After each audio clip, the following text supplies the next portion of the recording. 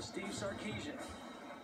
Steve Sarkisian, former head coach at Washington, got the job at USC, and last year part